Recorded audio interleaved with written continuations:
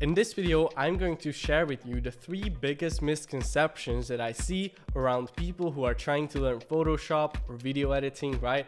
And these beliefs are simply holding you back on your journey. So I hope by me going over these beliefs and explaining them to you why they are not true, I hope this is going to help you speed up your personal journey. You can probably tell I'm a little bit sick. Uh, I got the flu, but I still wanted to make this video because I see these false beliefs, these lies are holding so many of you guys, aspiring video editors and Photoshoppers back. So let's get right into it. Belief number one is that editing softwares are super complicated and that you need to be a tech person if you want to master these. Now, this is simply false, okay? And here's why. Learning editing, whether it's photo editing or video editing, is kind of like driving in my uh, opinion, right? Do you remember the first time that you got behind the wheel of a car, right? You probably looked something like this. I know I personally looked like this. I was scared shitless, I was overwhelmed, and it simply wasn't that good of an experience, right? because there are simply too many things to pay attention to. You need to pay attention to things like stop signs, yield signs, staying in the correct lane so you're not hitting anyone with your car. You need to be shifting gears, right? If you're driving a manual, you need to focus on adding gas, the right amount of gas. You need to make sure you're not breaking the speed limits. You need to, you know, brake and slow down at the right times. You need to signal when you're changing lanes or turning. So many things, right? It's insanely overwhelming the first time you get in the driver's seat and actually go into traffic. Now, the first time you suck quite a lot, right? The first time you drive. And then the second time you suck a little bit less, but you're still pretty bad. By the hundredth time you're driving, you are not too bad, but you know, you're still not good. But then the thing that happens by the thousandth time you are behind the wheel is you are sucking so little that you are actually considered good. At least most people. There are some people who will never learn how to drive, but you know, that's a very, very small minority. Most people, by the thousandth time they are driving, they are actually quite good at it. Now, you might be wondering, like, what's the thing that happens between the first and the thousandth time you are driving? Well, how do you go from this, right, being scared shitless and uh, yeah, just in general not really uh, being on top of things, to something like this? Kind of, you feel like you are Vin Diesel from Fast and the Furious by the thousandth time you are driving, right? Well, you basically download a new skill set into your brain. That's what happens. And the things that were a struggle in the beginning become second nature to you, like shifting gears, for example, when you're driving a car, right? And the same thing is true when it comes to learning editing, video and photo editing. This shit is overwhelming at first, right? Like when you first open up Premiere or even the first 10 times or 100 times, you might feel overwhelmed. You do not, not you're not exactly sure like where you should be looking. You don't even remember where everything is. You don't even know what you should be looking for, right? Like even with Photoshop, there are so many different settings, so many different things you could mess around with, uh, and you are just not sure about 99% of things and how they work. But if you break it down into small building blocks, it becomes easy right?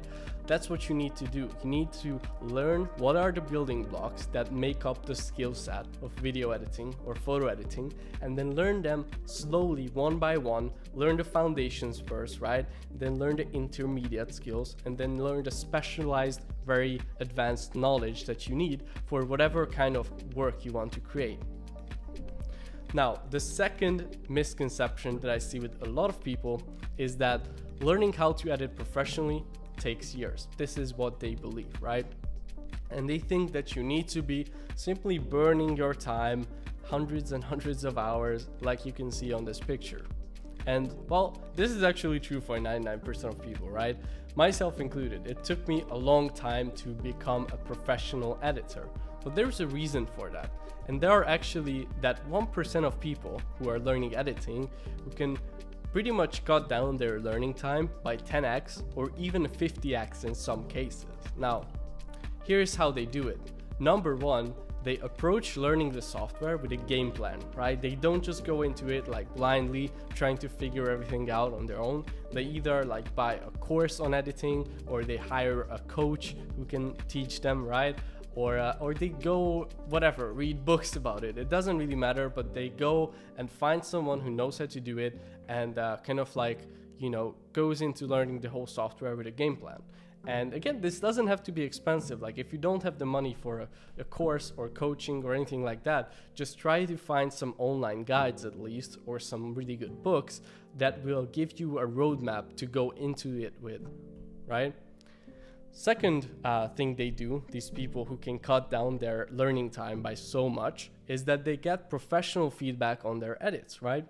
And uh, yeah, this can help you so much when you're just starting out because uh, basically professional people can give you the kind of advice that you need in that certain moment. And especially if you can you know send them your exact clips or exact you know photoshop files to review they can easily pinpoint what are the things you could improve to make it more efficient or just to make it more professional in general. And this is one of the fastest ways to learn if you can get feedback personally from someone who is who is better at the skill set than you are.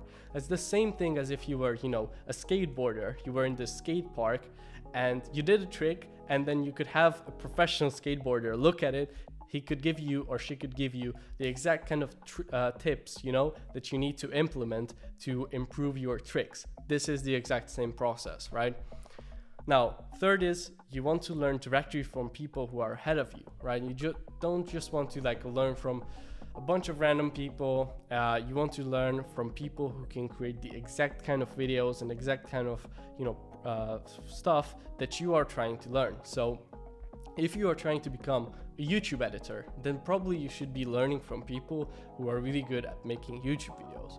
If you want to make Netflix documentary style movies, right, or you want to get into cinema, then you should be learning from those kind of people.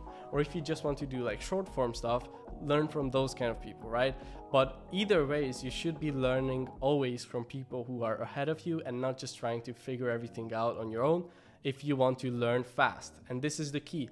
I'm not saying you cannot figure everything out randomly on your own, right? You can. But if you want to learn fast and you don't want to waste hundreds of your hours of your time, you want to learn directly from people ahead of you. Now, I had to learn these things the hard way with years of trial and error and countless frustrated hours wanting to simply smash my computer, right? I spent one and a half years trying to become a good video editor, but I was making really slow progress because I was relying on random, low quality and confusing YouTube videos and tutorials. Now, I hope you guys find my tutorials, you know, enjoyable because that's my main goal with this channel is to teach in a way that is easy to follow along and and you know, enjoyable. But still, I had to go through so many shitty tutorials, right? But on the summer of 2018, when I was just 15 years old, right, I landed a summer job at a local media company in Hungary. Now, this was me at 15 years old, and as you can see, I was like literally sitting right next to these pros um, at this media company, and I was absorbing all the knowledge from them 24 7. We were working, working like 12, 14 hour shifts uh, yeah, I don't know how that company didn't get like sued by the government uh, for you know making us work that many hours. But anyways, I was learning so much from them. Right? Again, this is me at 15 with the camera, learning from these uh, guys who were doing this as their job for 10 plus years. And during this summer, I learned more from being around professionals 24 7 in a few weeks than I learned in years and years of boring and frustrating YouTube tutorials. And you can also shortcut your learning by shadowing professionals. Now, why is job shadowing such an effective way to learn? It's simple. It's because you're watching someone work on an actual edit and you will pick up on a ton of tiny habits that you normally wouldn't find in tutorials or guides because these are habits that, you know, are formed over over years and built over years and uh, you know when you are trying to just present to thousands of people in a tutorial you're not really able to you don't really want to like show all the smallest details and explain why you do everything because it's just simply not you know a good way uh, for the youtube algorithm because you would go into super small tangents you know? Now after teaching thousands of people how to edit i will make this bold claim that i think you can learn to be honest, 95% of the things that you need for editing in just six to eight weeks if you have the right mentors and you have a roadmap to learn this skill set. Now, in fact, I heard this thing from a mentor of mine, Alex Hormozi, who is a nine figure entrepreneur, also super big on YouTube. So if you aren't watching his stuff yet, make sure to follow him.